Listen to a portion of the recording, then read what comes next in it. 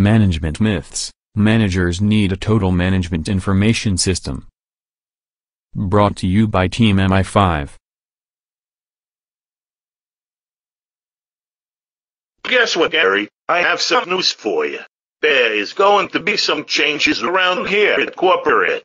We are investing into Salesforce.com because we think it is the right move. As Gary drives back to the office, he grows frustrated with corporate. He likes the system he already has, and he wonders how he is going to get his sales team on board. Hello. Hello. Is anyone here? Gosh damn, everybody must be out meeting with their clients. I guess they won't be in the office today.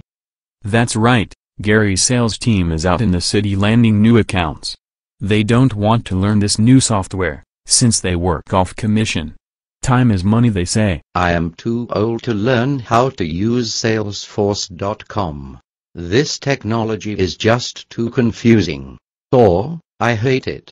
Gary, I'm so glad that you are not adopting Salesforce, because I don't have the time to watch tutorials on how to use it. I have better things to do with my time, like selling.